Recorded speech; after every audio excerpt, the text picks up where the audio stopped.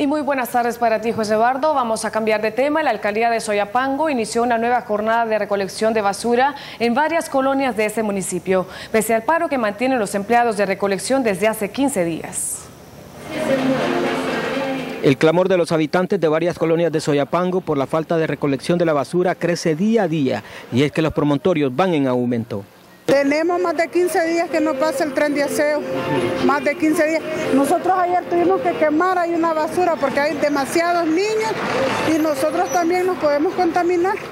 Consciente de ello y ante la huelga que mantienen desde hace 15 días un 60% de los empleados de recolección, la municipalidad inició una nueva jornada de limpieza en varias colonias como la San José, Bosques del Río, Las Brisas y el casco urbano de Soyapango. Ahora esperamos recolectar unas unas mil toneladas. La preocupación va más allá, pues los concejales hablaron de serios problemas administrativos, entre estos el pago de salario para unos 900 empleados.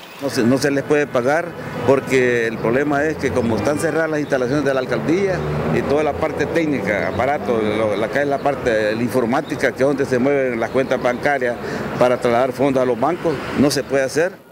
La huelga que mantienen los sindicalistas y empleados de recolección fue declarada ilegal, según los concejales. La huelga ha sido declarada, declarada ilegal desde el día viernes, ¿verdad? Ellos tenían hasta las 3 de la tarde para desalojar la alcaldía y no lo han hecho. Entonces les pedimos a las autoridades competentes para que lo vengan a hacer, ¿verdad? Y también ponemos, hemos puesto la denuncia ante Medio Ambiente y Medio Ambiente no ha venido a reaccionar tampoco. De acuerdo a las autoridades municipales de Soyapango, en las diferentes colonias existen más de 1.500 toneladas de basura que no han sido recolectadas y en cuatro días piensan realizarlos. En Soyapango, Fidel Pelosa para Tele 2.